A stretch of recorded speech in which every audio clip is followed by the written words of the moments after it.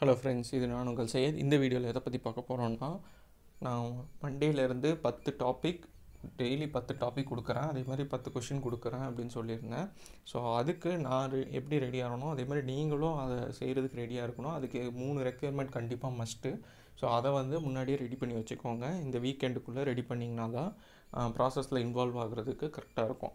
So first thing பார்த்தீங்கன்னா மொத்தம் மூணு விஷயம் என்னன்னு நான் சொல்லிடுறேன். ஒன்று வந்து பென் இன்னொன்று வந்து ஆன்சர் புக்லெட்டு மூணாவது வந்து நோட் இல்லைன்னா ஏ ஃபோர் ஷீட்டு ஸோ இதில் ஃபஸ்ட்டு பென் எடுத்துக்கலாம். இந்த பே பேனாவை பொறுத்த அளவுக்கும் மஸ்ட்டு நீங்கள் ஃபைனல் எக்ஸாமில் வந்து நீங்கள் ஆல்ரெடி நிறைய பேர் வந்து ப்ரிலிம்ஸுக்கு பால் பாயிண்ட் பென் தான் யூஸ் பண்ணியிருப்பீங்க அதே ஃபார்மேட்டில் இந்த பேனாவே போதும்னு சொல்லி நீங்கள் எழுதிட்டுருப்பீங்க அப்படி எழுதாதீங்க. வேறு ஏதாவது ஒரு நல்ல பேனாவை சூஸ் பண்ணிக்கோங்க.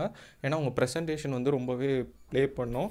நீங்கள் பால் பாயிண்ட் பெனில் எழுதுனீங்கன்னா அந்த லெவலில் ப்ரெசன்டபுளாக இருக்காது பார்க்குறதுக்கு ஸோ அதனால் நார்மலாக என்ன பண்ணுவாங்கன்னா பைலட் பென் வாங்குவாங்க இல்லைன்னா யூனிபால் வாங்கி யூஸ் பண்ணுவாங்க. ஸோ இதில் எந்த பேனா நல்லாயிருக்கோ அது பார்த்துக்கோங்க இந்த ரெண்டு தான் வாங்கணும்லாம் மஸ்ட்டு கிடையாது ரூல் கிடையாது. இது இல்லாமலும் வேறு பேனா வாங்கலாம். பட் ஆனால் உங்களோட ஹேண்ட் ரைட்டிங்க்கு உங்களோட ஃப்ளோக்கு எது செட் ஆகும்னு பார்த்துட்டு நீங்கள் வாங்கி அதையே வந்து நோட்ஸ் மேக்கிங் பண்ணுறதுக்கும் யூஸ் பண்ணுங்கள் டெஸ்ட்டு இப்போ எழுதுகிற மார்க் டெஸ்ட்டுக்கும் ப்ராக்டிஸ் பண்ணுங்கள் அப்படி ப்ராக்டிஸ் பண்ணால் மட்டும்தான் உங்களுக்கு ஃபைனல் எக்ஸாமில் வந்து அது ஹெல்ப்ஃபுல்லாக இருக்கும். எக்ஸாமுக்கு ஒரு நாள் முன்னாடி வாங்கிட்டு போய் எக்ஸாமில் எழுதுனீங்கன்னா ஊற்றிக்கும் ஸோ அந்த தப்பு பண்ணாதீங்க. இப்போவே வாங்கி அதை ரெடி பண்ணுங்க.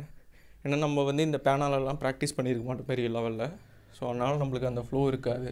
காலேஜ்லேயும் பெரிய லெவலில் எழுதியிருக்க மாட்டோம் ஸ்கூலுக்கு எடுத்து ஸோ அதனால் ஹேண்ட் ரைட்டிங்கும் பெரிய லெவலில் வராது.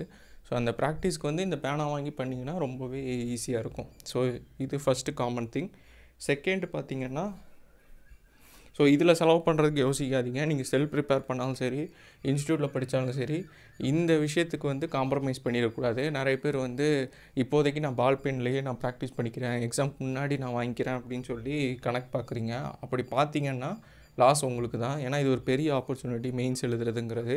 இதுக்குள்ள போய் ஒரு அஞ்சு ரூ ஒரு ஐம்பது ரூபா நூறுரூவாய்க்கு கணக்கு பார்த்துக்கிட்டு இருந்தீங்கன்னா வேலைக்கு ஆகாது. ஸோ அதை மட்டும் ரெக்டிஃபை பண்ணிக்கோங்க. அதுக்கப்புறமா ஆன்சர் புக்லெட் ஸோ இந்த ஆன்சர் புக்லெட் ரொம்ப ரொம்ப இம்பார்ட்டண்ட்டு டெஸ்ட் ப்ராக்டிஸுக்கு வந்து நீங்கள் ஒரு ரூல்டு நோட் வாங்கி நம்ம ப்ராக்டிஸ் பண்ணிக்கிறோம்லாம் பண்ண முடியாது. ஏன்னா நம்பர் ஆஃப் லைன்ஸ் வந்து வேரி ஆகும். Six mark twelve mark fifteen mark அந்த ஸ்பேஸும் வந்து அவங்க கொடுக்குறதோடி கொஞ்சம் பெருசாக தான் இருக்கும். நீங்கள் நார்மல் ரூல்டு நோட் வாங்கினீங்கன்னா லைன்ஸுக்கு இடையான ஸ்பேஸ் ரொம்ப கம்மியாக இருக்கும். பட் ஆனால் ரியல் எக்ஸாமில் வந்து கொஞ்சம் ஸ்பேஸ் ஜாஸ்தியாக இருக்கும். ஸோ அது ரியலாக எப்படி இருக்கணும்னு தெரிஞ்சுக்கணுன்னா அந்த மாதிரி ஆன்சர் புக்கில் ப்ராக்டிஸ் பண்ணிங்கன்னா மட்டும்தான் அந்த ப்ராக்டிஸ் கிடைக்கும். ஸோ அதுக்காக தான் நான் மேக் பண்ணியிருக்கேன் இது. இது வந்து அஃபிஷியல் கிடையாது.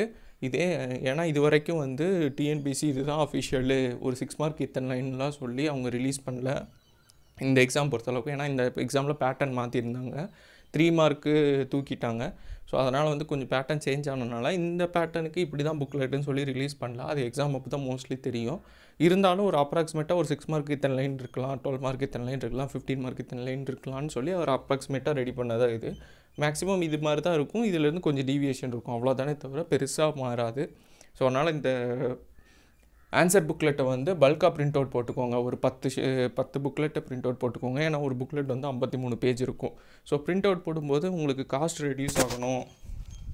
அப்படின்னு வைங்களேன் நிறைய பேருக்கு வந்து வீட்டு பக்கத்தில் இருக்கிற பிரிண்ட் அவுட் போய் போட்டோன்னா ரொம்ப செலவாகும் அப்படின்னு ஃபீல் பண்ணிங்கன்னா முடிஞ்ச அளவு வந்துட்டு இந்த யூனிவர்சிட்டிஸ் அதுக்கப்புறமா காலேஜஸ் பக்கத்தில் இருக்கிற சிட்டிஸில் இருக்கிற இடங்கள்ல போய் போட்டிங்கன்னா கொஞ்சம் கம்மியாக வரும். ஸோ அந்த மாதிரி பாசிபிலிட்டி இருக்குது இல்லை உங்களால் அக்சஸ் பண்ண முடியாது போக முடியாது அப்படின்னா நான் ரொம்ப இன்டீரியராக இருக்கிறேன் அந்த மாதிரி பண்ணிங்கன்னா நீங்கள் வந்து பெட்டர் சென்னையில் உங்கள் ஃப்ரெண்ட்ஸ் யாராவது இருந்தேன்னா அவங்கள்ட்ட கேட்டு பாருங்கள் சில ஜெராக்ஸ் கடைங்கெலாம் வந்து அவங்களுக்கு நம்ம மெட்டீரியல் சென்ட் பண்ணாலே என்ன பிரிண்ட் அவுட் பண்ணணுமோ அது சென்ட் பண்ணாலே ஐம்பது பைசாலாம் போட்டு கொடுத்துருவாங்க. ஆனால் எக்ஸ்ட்ரா அவங்க போஸ்டல் சார்ஜ் மட்டும் பண்ணிக்குவாங்க. ஸோ ஒரு பத்து புக்லெட் போட்டிங்கன்னா உங்களுக்கு வந்து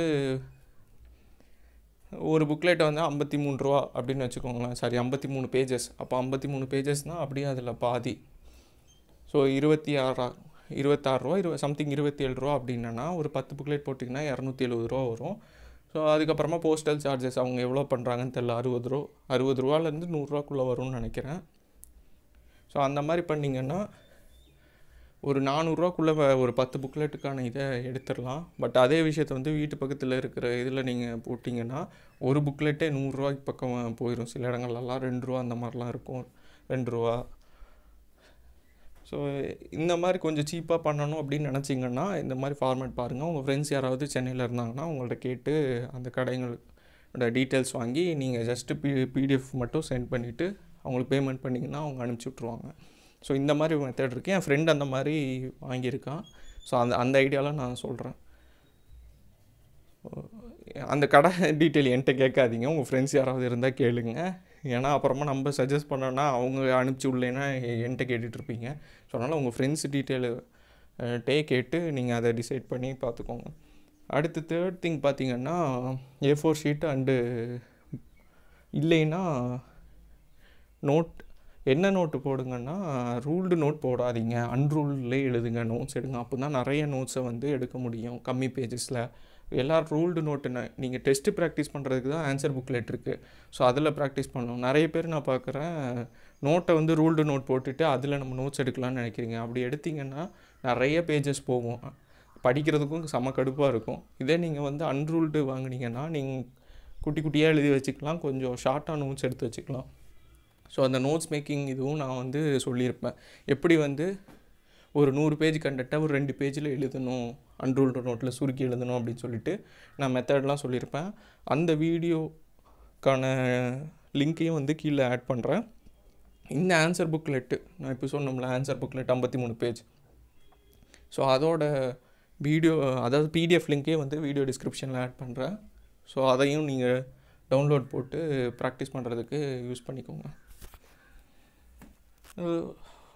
வேறு இந்த மாதிரி இப்போ என்னோடய புக்லெட்டு தான் போடணும்னு அவசியம் இல்லை. ஆல்ரெடி வேறு ஏதாவது நீங்கள் பார்த்து வச்சுருக்கீங்க இல்லை உங்கள்கிட்ட பிடிஎஃப் கிடச்சிது அப்படின்னா அதை நீங்கள் ப்ரிண்ட் அவுட் போட்டு வச்சுருந்தாலும் நோ ப்ராப்ளம் அதிலே டெஸ்ட்டு ப்ராக்டிஸ் பண்ணிக்கோங்க. அது இல்லாத பட்சத்தில் என்னோடய ப்ரிண்ட் அவுட் போட்டுக்கோங்க.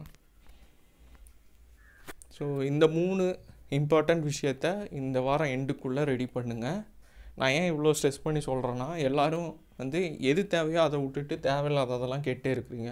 ஃபார் எக்ஸாம்பிள் வந்து இதுதான் மஸ்ட்டு நீங்கள் வந்து ஒரு மெட்டீரியலை வந்து நீங்கள் புக்காக வாங்கி படிக்கலாம் இல்லை பிடிஎஃபாக வாங்கி சாஃப்ட் காப்பியில் படிக்கலாம் இல்லைன்னா வெப்சைட்டில் ரெஃபர் பண்ணி படிக்கலாம் அதுக்கான ஆப்ஷன்ஸ் நிறையா. பட் ஆனால் இந்த மூணை வந்து நீங்கள் காம்ப்ரமைஸே பண்ண முடியாது. நீங்கள் பேனா வந்து ஒன்று சூஸ் பண்ணி தான் ஆகணும் அதை எழுதி பார்த்து தான் ஆகணும் ப்ராக்டிஸ் பண்ணி தான் ஆகணும். ஆன்சர் புக்கில் இல்லை ப்ராக்டிஸ் பண்ணால் மட்டும்தான் அந்த ஃபார்மேட் உங்களுக்கு கரெக்டாக கிடைக்கும். ஸோ அதனால் இதை இதுக்கு நிறைய இம்பார்ட்டன்ஸ் கொடுங்க. இன்னும் புக் லிஸ்ட் என்ன? புக் லிஸ்ட் என்னன்னு கேட்காதீங்க. நான் முடிஞ்ச அளவு நான் கவர் பண்ணுறது ஃபுல்லாமே சமச்சீர் புக்கில் கவர் பண்ணிவிட்டு எக்ஸ்ட்ரா சோர்ஸுக்கு வந்து வெப்சைட்ஸு அஃபிஷியல் டாக்குமெண்ட்ஸை நான் உங்களுக்கு பிடிஎஃபாக சென்ட் பண்ணுறேன் அதை பார்த்து நோட்ஸ் எடுத்துகிட்டு அப்படி படிச்சுக்கலாம். ஸோ பெரிய லெவலில் தனியாக ஒரு புக்கு வாங்கணுங்கிற மாதிரி அட் ப்ரெசன்ட் கிடையாது. அப்படி வாங்குற மாதிரி இருந்தாலும் நார்மலாக என்ன வச்சுருப்பாங்கன்னா லட்சுமிகாந்த் இந்தியன் பாலிட்டிக் இங்கிலீஷில் இருக்கும். அதே மாதிரி வெங்கடேஷன் புக் இருக்கும் தமிழில். இதுதான் மேக்ஸிமம் இருக்கும். மற்ற எல்லா புக்கும் வாங்குறாங்கன்னா அதை வாங்கியிருப்பாங்க. ஆனால் பெருசாக அதை யூஸ் பண்ணியிருக்க மாட்டாங்க. ஆனால் நீங்கள் நார்மலாக புக் லிஸ்ட்டுன்னு போட்டு நீங்கள் எல்லா வெப்சைட்டும் ரெஃபர் பண்ணிங்கன்னா அதாவது யூடியூப் சேனல் ரெஃபர் பண்ணிங்கன்னா ஒவ்வொரு சப்ஜெக்ட்டுக்கும் ஒவ்வொரு புக்கு சொல்லுவாங்க. ஆனால் நான் குரூப் ஒன் மெயின்ஸ் படித்தேன்.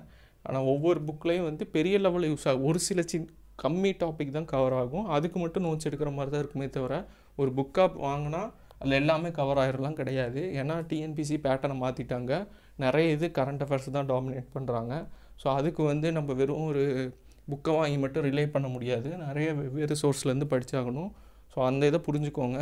ட்ரெண்டுக்கு தகுந்த மாதிரி நீங்கள் சேஞ்ச் ஆகணும்.